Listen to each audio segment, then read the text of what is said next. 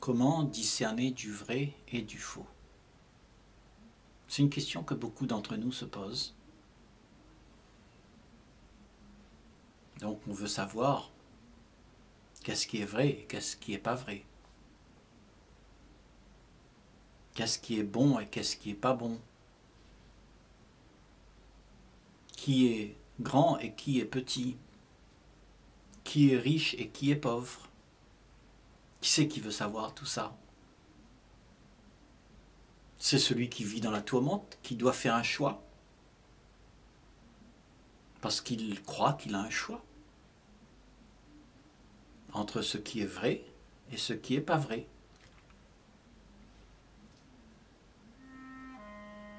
Mais tout existe. Le vrai, le faux, c'est là. Que tu aimes ou pas, c'est là.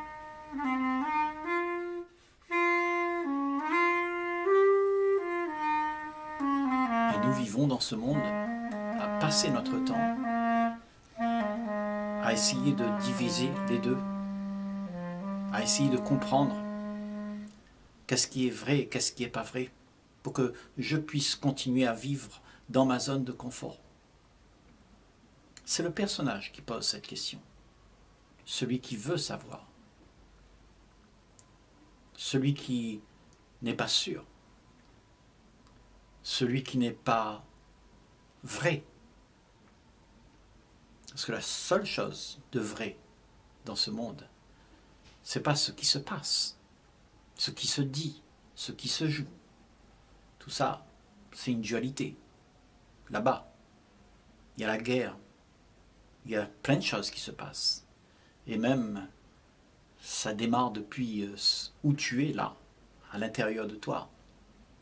Ce conflit, cette dualité que l'on a en nous, elle nous fait croire que quelque chose de faux est vrai. Nous croyons souvent à des choses qui sont fausses, parce que c'est quelque chose qui nous donne du confort quelque part. Il est bon de savoir que le prince charmant viendra.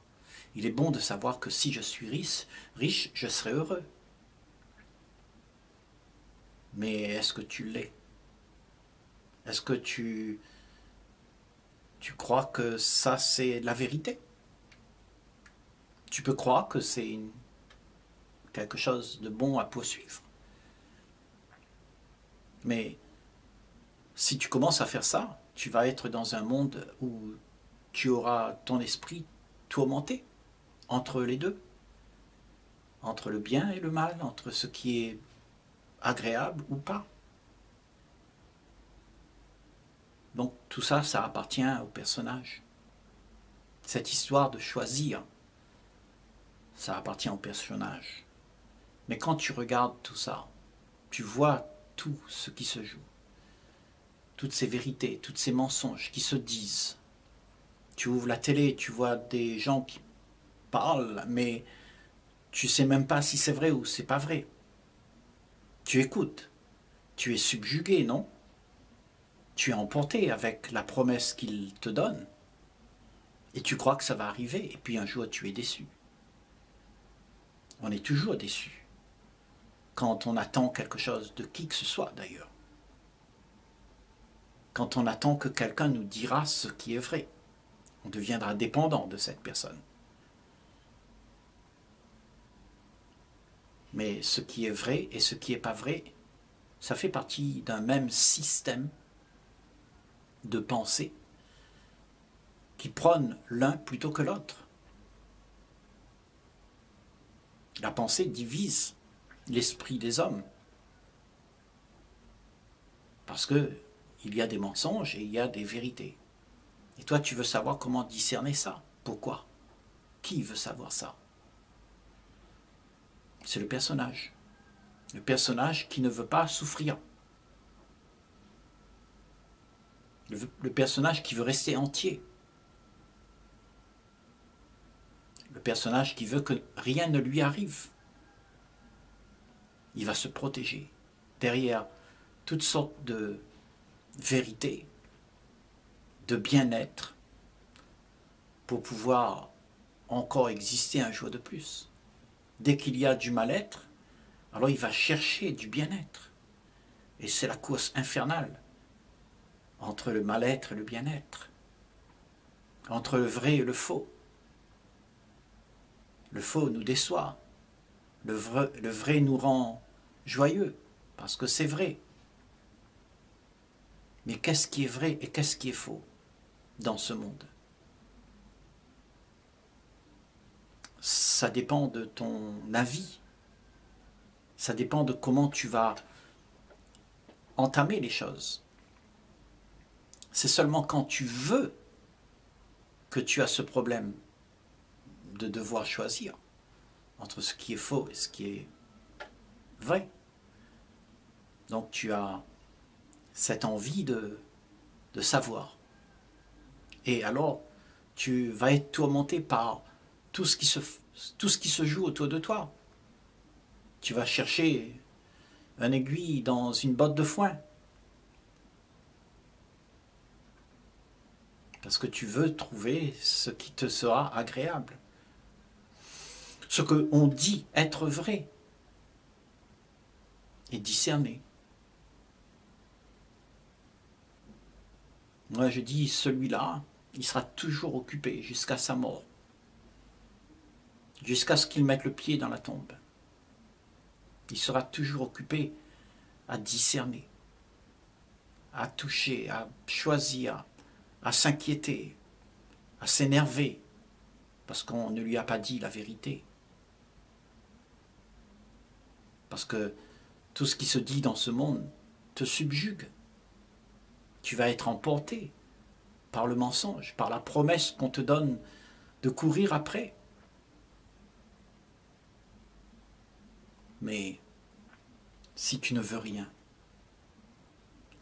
si tu es celui qui abandonne tout ce que tu désires, ça veut dire tu abandonnes toutes les pensées que tu as, tes conclusions de comment ça devrait être et de comment ça ne devrait pas être.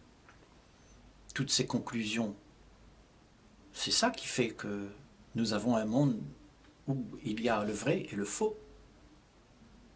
Parce que nous avons conclu, et tout ce que nous concluons fait un monde où tout le monde euh, prône à sa porte sa propre vérité.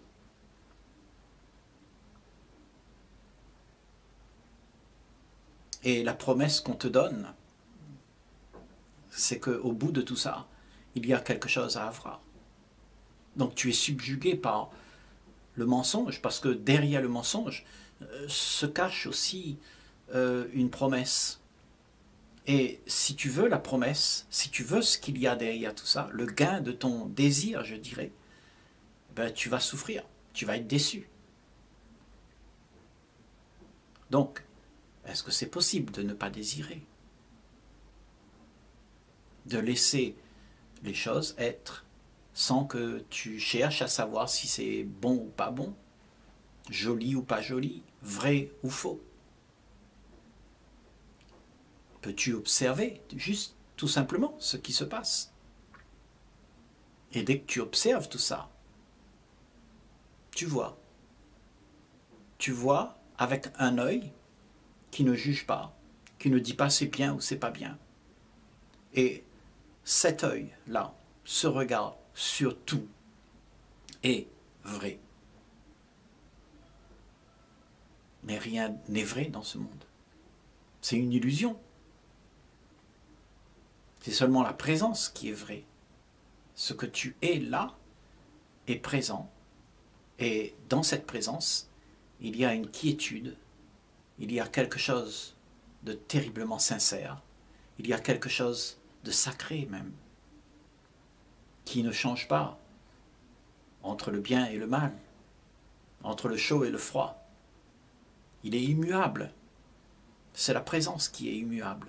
Et c'est la seule chose sur quoi se baser pour pouvoir te diriger dans ce monde, dans ce monde où tout est haut et bas, chaud et froid, faux et vrai, bien ou mal, mal-être ou bien-être dans ce monde. C'est ce qui se passe. Si tu es identifié à tout ce que tu veux, ce que tu veux vivre, Le personnage qui veut vivre dans ce monde a besoin de sécurité. Autrement, ce que tu es, la présence que tu es, n'a pas besoin de tout ça. Puisqu'il est vrai. Il n'a pas besoin de jouer avec le choix d'être ou de ne pas être. Il est. Tu es là, présent. Tu n'as pas le choix que d'être cela. Et cela, c'est la seule chose qui existe. Autrement, tout le reste, c'est de l'illusion. Le vrai, le faux, ce sont des illusions. Le bien, le mal, ce sont des illusions. Et tu es accaparé avec ça. C'est parce que le monde est fait de ça. Le monde est fait de la rivalité. Parce que ce qui fait la rivalité, c'est ce que nous pensons. Parce que tu es un être pensant. Et cet être pensant, c'est le personnage qui a hérité de toute la pensée. Ton psychisme, c'est la pensée. C'est la machine qui pense. Et tu es subjugué par elle. Et cette pensée, elle est en contradiction avec elle-même. L'un dit vrai, l'autre dit faux.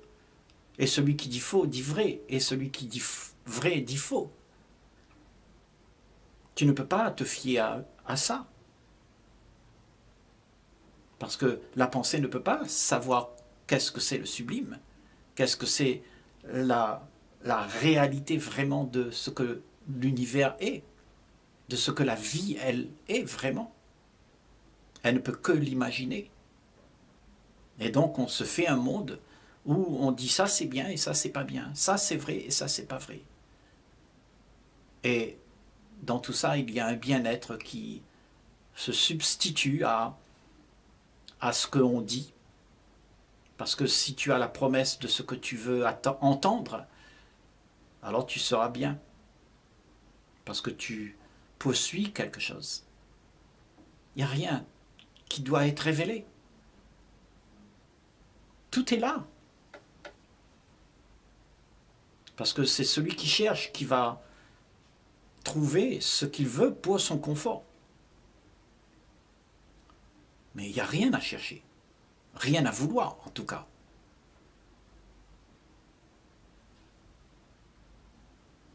Peut-être une enquête est nécessaire pour pouvoir discerner toute cette propagande que nous vivons, pour pouvoir trouver dans les méandres de cette société quelque chose.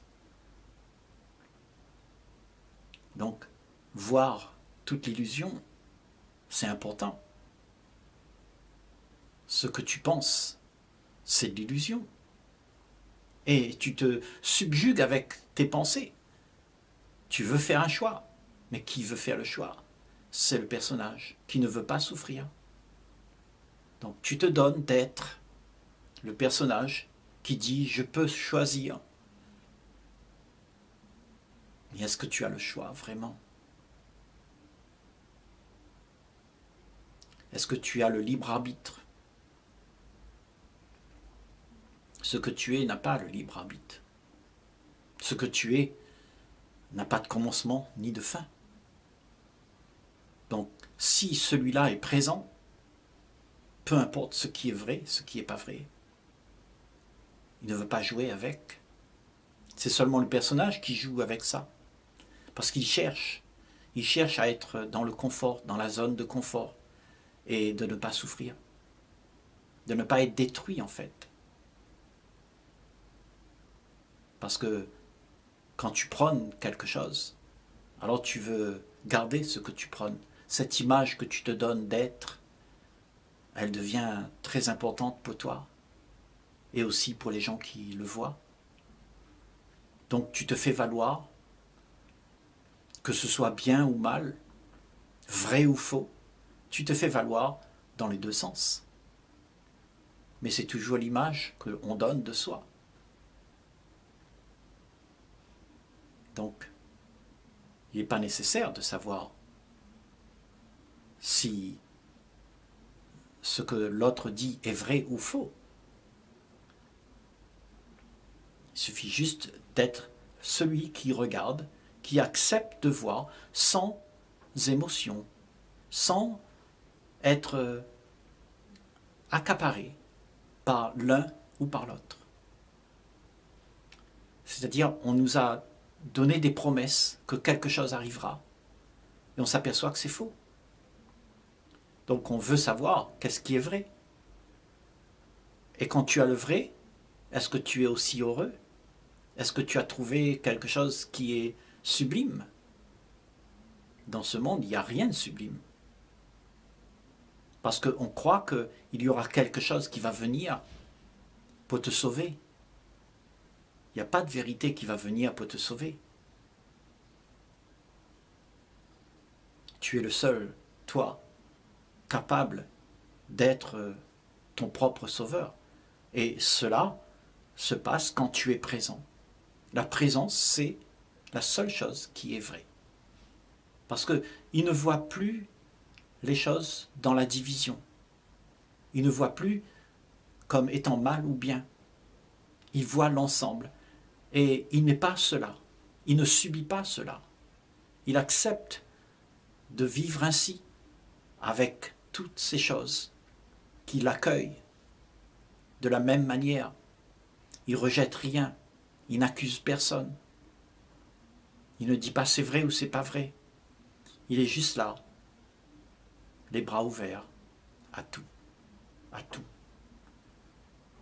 Aux criminels, aux gentils, à la belle, à la bête.